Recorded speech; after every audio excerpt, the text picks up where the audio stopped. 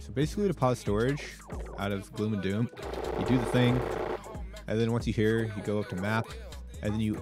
click on quit game, and then you go up, and then you go over, click on quit game again, go down, and then go. You go all the way down here, go up one, over one, click no, go up to to the map, go over one, and then click, and you're in which way.